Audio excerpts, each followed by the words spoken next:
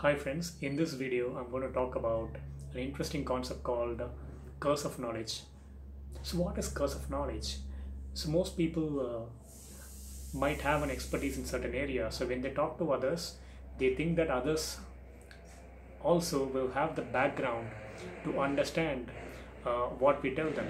Like for instance, if you are sitting in a lecture called uh, linear algebra, uh, when the professor uh, explains the concepts uh, as written in a scientific journal, most of us would not be able to understand if we don't have prior background.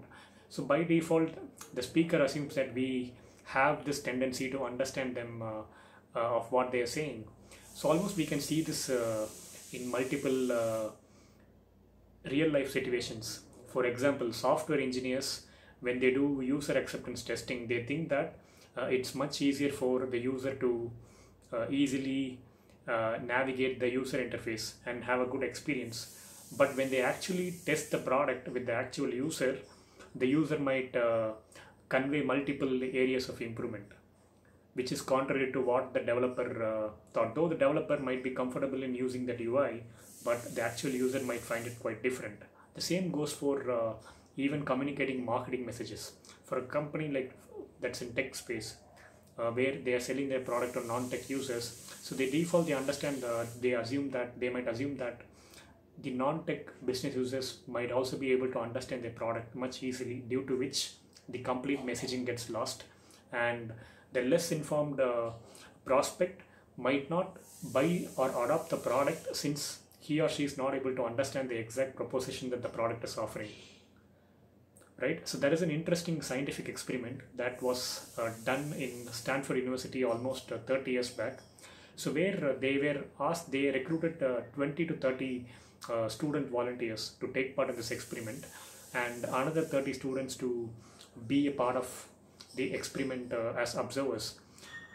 So the students were divided into two groups. So one set of students they were asked to tap the happy birthday song uh, on a table and the other student was asked to guess what tune the student actually played by tapping on the table and the tappers were asked how likely is that the observers will be able to predict the exact music accurately. So almost 50% of the tappers mentioned, uh, 50% uh, they mentioned uh, they will be guessing it right 50% of the time. But in reality, what happened is only 2% of the students were able to guess the song right when uh, this activity was performed. So almost in every field, uh, we have this cognitive bias called curse of knowledge, which doesn't brings the message across. So it's always important to uh, use relevant narratives and stories uh, to make a less informed uh, individual to understand what point we have to bring across. That's the way to overcome uh, uh, this curse of knowledge. Even in corporates where the top level managers they might have a strategy in place uh, which the bottom level team members, junior employees might not be able to understand since they don't have the background to understand it. But by connecting with narratives and stories, we could again eliminate this barrier and cross the curse of knowledge.